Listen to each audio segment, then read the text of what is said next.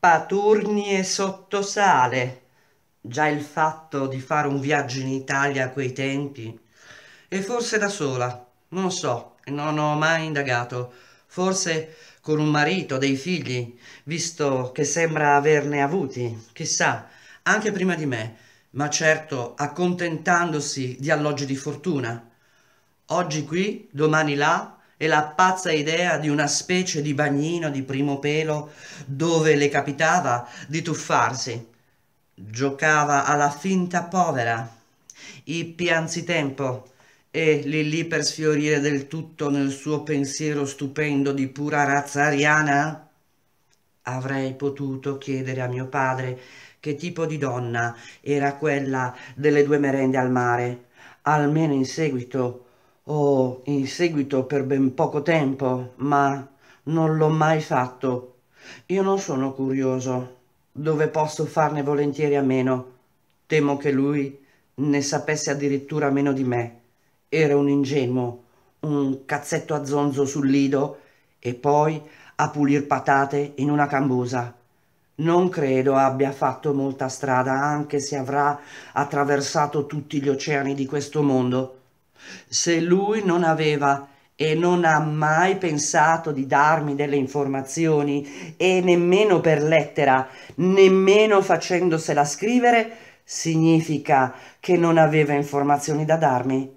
A parte quella che doveva ben sapere, mi era stata data da sua madre, mia nonna, e senza tante infiorettature. Forse quello che mia nonna mi ha taciuto, ma solo perché ero così piccolino quando è morta e poi, per l'appunto, sono stato affidato ai preti del brefotrofio prima e quelli del seminario dopo. È che quella mia madre naturale, alla quale va comunque l'ambiguo merito di non avermi abortito.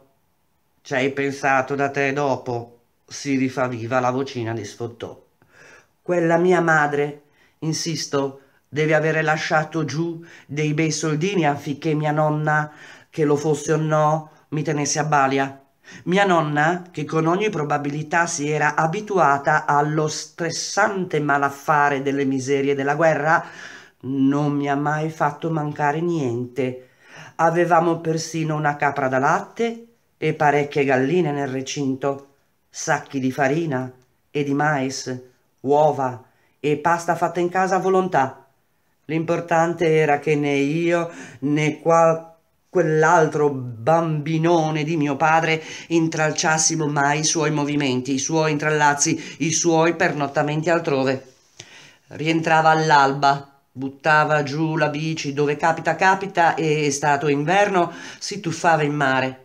La spiavo dall'oblò nella lamiera, prima che diventasse un muro, con una finestra addirittura, con vetri e ante e non potevo ancora immaginare che non era per nuotare, ma per lavarsi. Poi capii, ma mi meravigliai lo stesso perché si lavava solo sotto le ascelle e dentro la scanalatura dei seni.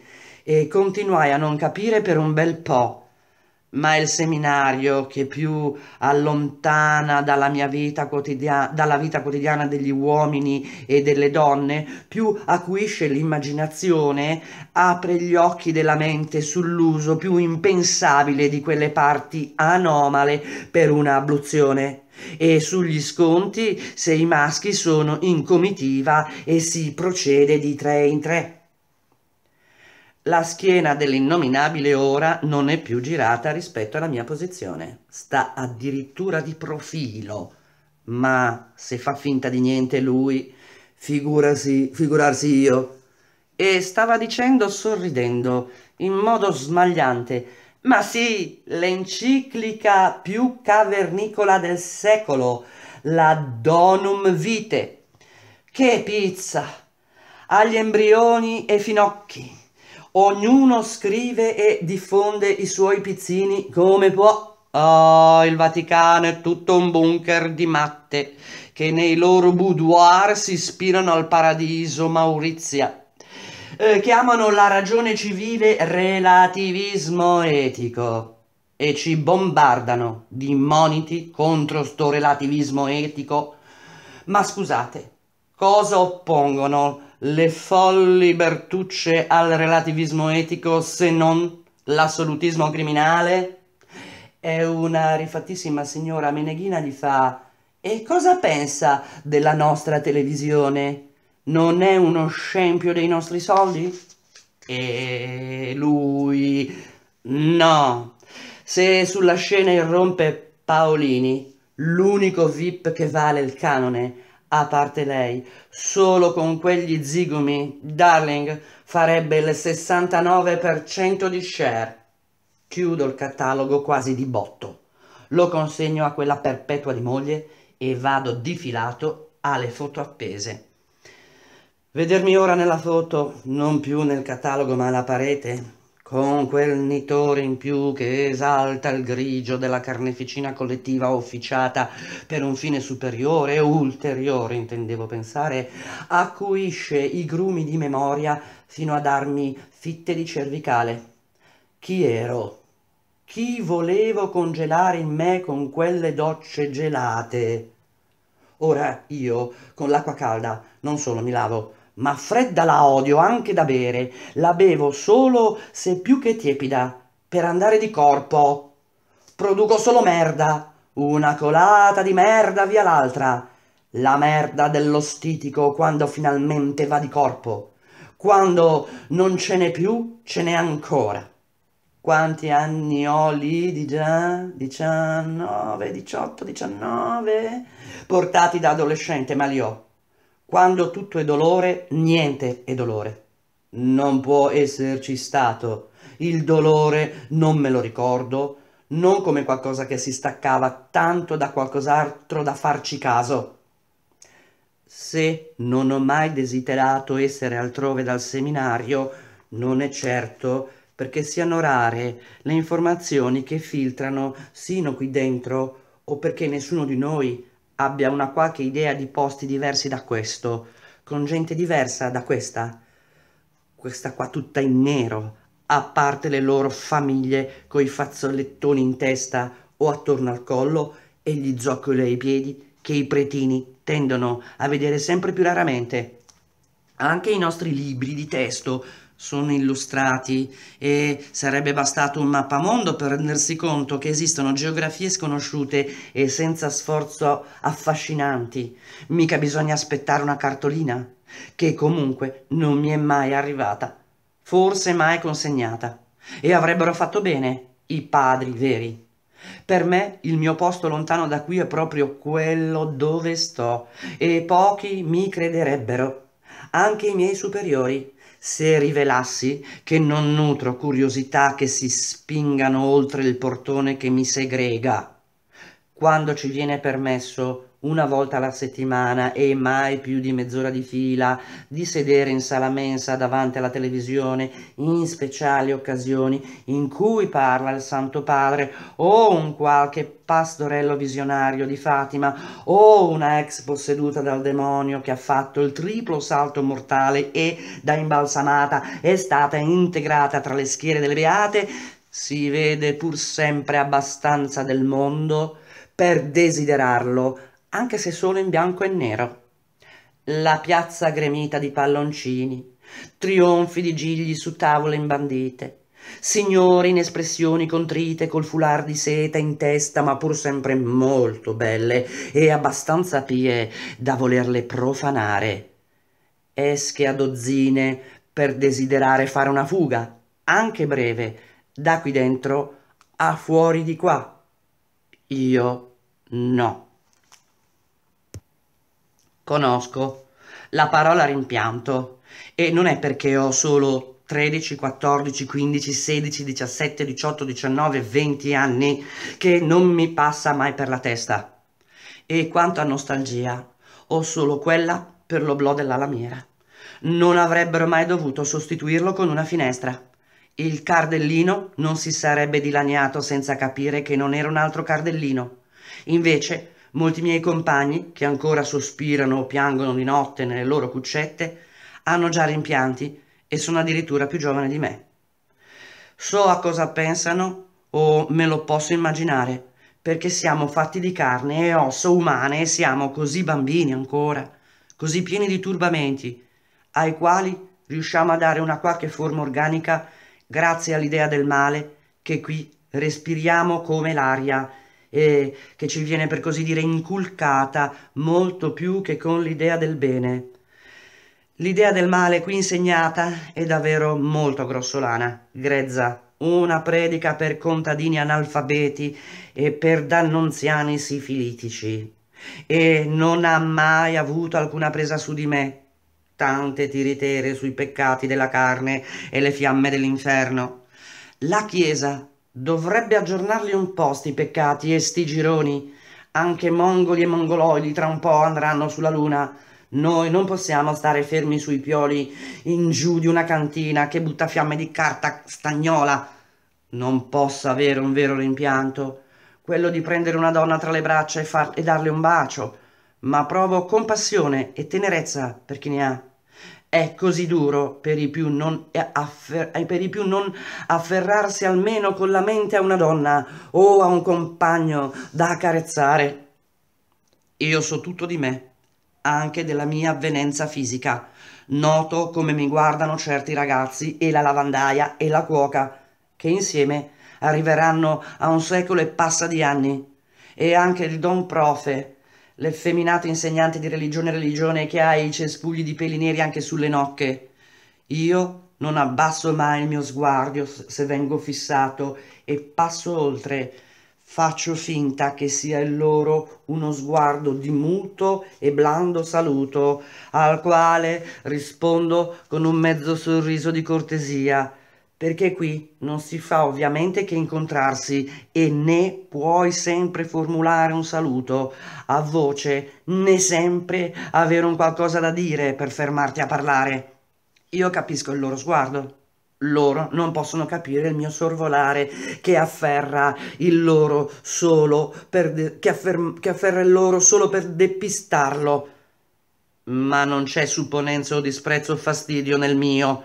Non mi posso permettere di tradirmi, perché sarebbe come ammettere che, sto, che so interpretare le loro intenzioni e che quindi potrei sia averne, avendole sia averne, non avendole, ancora messe a fuoco. L'innocenza va ben al di là di una verginità di pensiero e di azioni. È la necessità corruzione della medesima per salvaguardarla dagli attacchi esterni e renderla intangibile. Non so se c'è eccessivo amor proprio in questo, ma a me non è mai costato eccessiva fatica dare per perso il mio corpo e i suoi slanci una volta per tutte. Non lo metto in conto. È la cancellazione progressiva, lo ammetto. Non mi suscita notti a parte particolari miasmi di spettri. Il mio è un corpo che non si vendica su di me per non essere messo in gioco con i corpi degli altri. Non che io me ne avveda, anche se mi sveglio in una Veronica di sudore e di umori.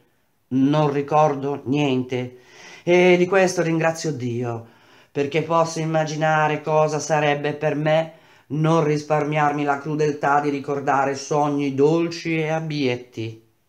Io non sarò l'estensione dei miei tessuti cavernosi, non avendo potuto avere lei, io non avrò donna. Certo, la volontà e lo spirito di sacrificio per mantenermi, non dico puro, che è una parola insensata, ma per, diciamo, mantenermi all'altezza del pensiero che mi son fatto di me e del mio destino di sacerdote, all'inizio mi facevano soffrire molto e poi gradualmente più vedevo con somma letizia arrivare dei risultati sempre di meno fino ad avversarsi ogni pena io non nutro alcuna sufficienza o gelosia o invidia o superbia per, chi, per ciò che sono e per ciò che a differenza di me non sono i miei confratelli Molti di loro sono venuti qui perché spinti da famiglie indigenti che non potevano farli studiare e talvolta nemmeno sfamarli abbastanza. Io capisco che loro, guardandosi allo specchio per farsi la barba, vedono anche una faccia che nemmeno la madre a cui assomiglia osa più accarezzare e che è una sofferenza e che non c'è speranza che questo cambi. Pena lo scadere a uno stato che niente ha a che fare con quello del prete, o meglio, che niente ha a che fare con lo stato che un prete dovrebbe avere con se stesso, perché alla società dei fedeli, oh eh no, poco importa che cosa faccia e che cosa sia e che cosa senta o che cosa dica di sentire un prete. Il gregge è abituato nei secoli al prete che dice una cosa e un'altra ne fa.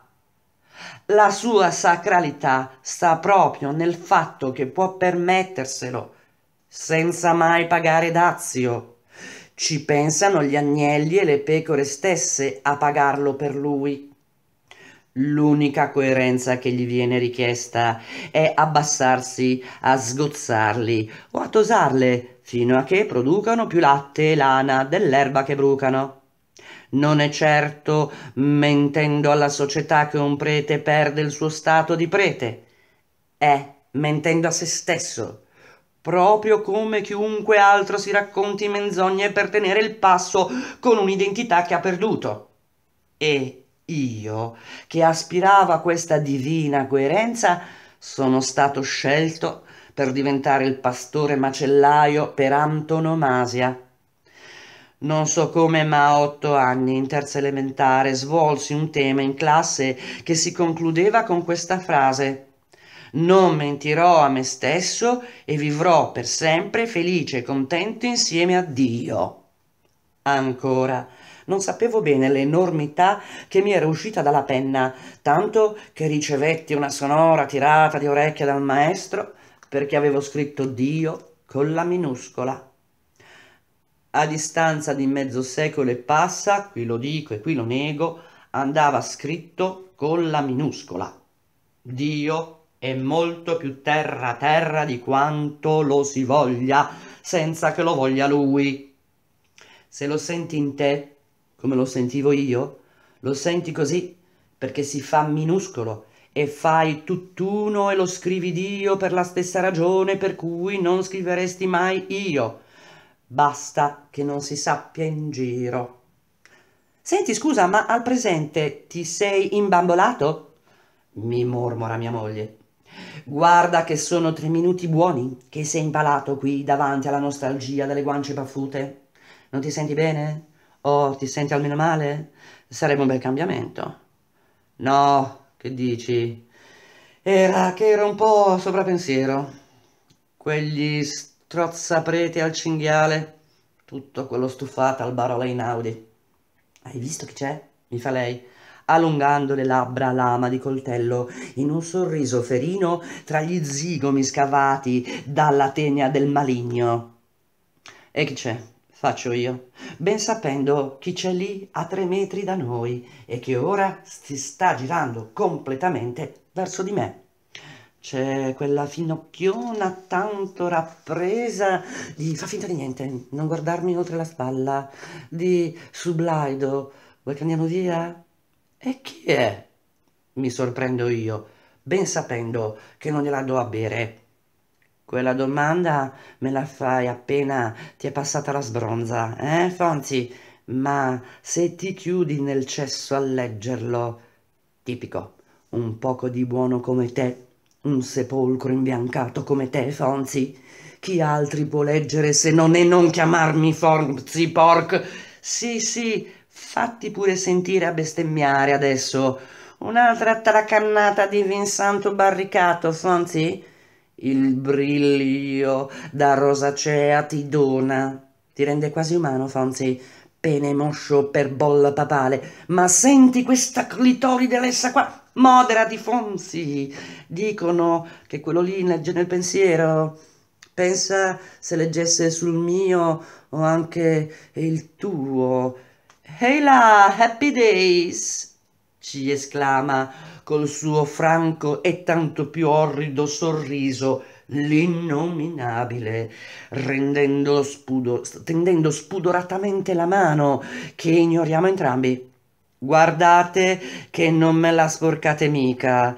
Se vi state facendo un riguardo per me. Oh, darling, ma che trendi il tuo impermeabile in pelle di coccodrillo e con la martingala, cara nonna Speranza, per sdrammatizzare la blusa del fanciullino Balilla. Signor che chic, anche il Leviatano veste vintage. E io zitto, impassibile, stacco ogni corrente dello sguardo, non alimento, smetterà combustibile esaurito, vinco l'istinto di girarmi verso la porta, il capo gorilla è già in tensione, pronto a scattare, lo so, non voglio casini. Cadrei nella sua trappola. E lui, la faccia di bronzo, continua diabolicamente argentino. Stavo giusto dicendo a una psicolabile di grido che non si cambia religione, ci si libera anche di quella che si ha, non trova? Quel magri cristiano all'am non raccolgo. Mi limito a scuotere appena il capo e lui, come se ogni non reazione gli stimolasse uno spunto in più anche voi mortali non comuni Vorreste tanto una di queste foto e non ve la vendono? Pensate che io l'ho pretesa solo per mettere piede qui dentro e... Uh, quante informazioni non richieste, mio caro, lo interrompo io. E comunque, eh, gliel'hanno data? E qui purtroppo mi è scappato un mezzo rutto da cucchiaino di bicarbonato a scoppio ritardato. Buon pro? No? Quindi sarei pronta per fare uno scandalo? Oh, che peccato mancarlo. Stavamo proprio andandocene. Sarà per un'altra volta, dice tutta finta divertita mia moglie, prendendomi a braccetto e portandomi verso l'uscita. Ma l'innominabile non demorde Esperienza da nave scuola in small talk da discorso alla nazione di meteoropatici. Eh, brava, che brava mia cara. È così difficile interessare senza dire mai niente di interessante. Anzi, è qui fissa negli occhi me. Senza mai dire niente di niente o dicendo solo cosucce, che puntellino le cosucce che si fanno in silenzio, eh? Non esistono più le quinte colonne di una volta, adesso sono tutte seconde, quasi di retrovia. Buonanotte, i figli maschi non ve li auguro perché mi sembra un po', un po tardino, eh? Happy Days! Che insolente, che carica, un portento di uomo. Lui, il suo specchio, l'ha sfondato davvero. Non si è nemmeno rotto il becco e continua a gorgheggiare da Dio, un mito dell'altra sponda. Ai noi! È stato lì che ci hanno fatto la foto in fila indiana. L'unica scattata in presenza ieri sera. Fino a prova contraria, io sulla soglia e mia moglie davanti a me sul marciapiede l'innominabile dietro, che ci sovrasta di non molto ma di un po' sì, e stamattina sui giornali sembriamo una sovrimpressione, un'etrina, quasi un tutt'uno da gabinetto delle meraviglie, come se avessimo posato davanti al telemetro che fu Giacomelli stesso, dando luogo a una specie di chimera però, senza parti animali visibili, a parte mia moglie tutta per la verità del terzo elemento, cognome e cognome di questa sovrimpressione, sappiamo solo io e quella là che ancora fa finta di dormire, ma che non vuole ammettere che i barbiturici non le fanno più niente e nemmeno l'uso che fa del cilicio. Vi risparmio i titoli e gli occhielli di un servilismo stomachevole, ammirevole, tu scendi dalle stelle, ore del cul, dei leccacul, del perché lo si sappia solo nu, noi due di casa, che fissato dietro a noi ci fosse anche l'innominabile, è presto spiegato. Neanche un'ora dopo che eravamo rientrati in, dio- in diocesi mi chiama Albrambi, il terminal del cartello della stampa, e mi fa ti chiedevo il permesso di pubblicare questa foto che ci è appena pervenuta. Io faccio finta di cadere dalle nuvole. Quale foto di Grazia? Quella di te alla mostra circa un'ora fa. E io? E chi me l'ha fatta? Chi te l'ha data? Ah, non si sa, non è d'agenzia, non dobbiamo neanche pagarla. E io rido sotto i baffi.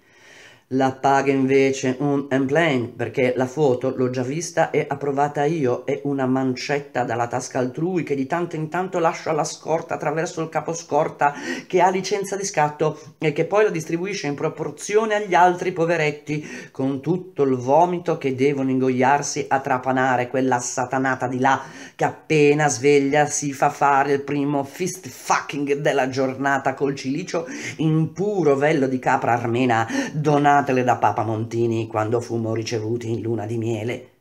E com'è? Oh, sei di un fotogenico?